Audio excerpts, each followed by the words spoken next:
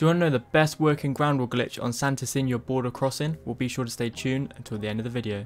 So obviously all you want to do is load into the game as normal. This glitch literally still works, which is why I'm showing you, because they literally patched all of the glitches on Vondel. They've patched like walking glitches, they've patched the under the map.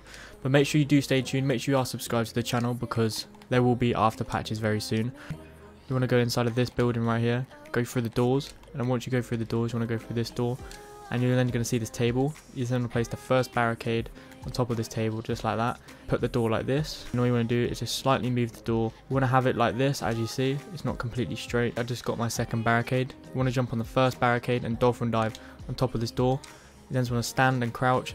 You want to place the second barricade on top of this door. You want to jump on the first barricade, and you want to dolphin dive towards the other barricade as you see like this and then as you'll notice the wall is still completely fake.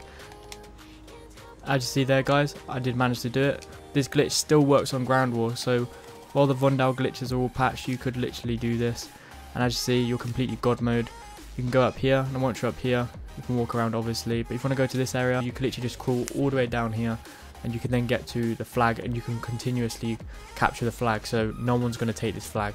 As you see I'm literally about to come to the end guys, as you see I'm now on the second part of the building and I'm now literally underneath the roof, well above the roof and as you see there's a guy right here and he doesn't have a clue where I am, it's absolutely crazy and there's a guy here and this glitch literally would work on Giant Infected but they actually removed Giant Infected so unfortunately you won't be able to do this but I just wanted to show that this still works and is very overpowered. But yeah, that is it for today's video. If you are new, make sure you do like and subscribe to the channel so you don't miss out on another video like this. I'm Current4.